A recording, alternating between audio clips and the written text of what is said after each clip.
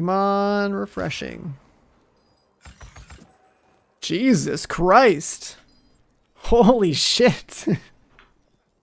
what the fuck is that?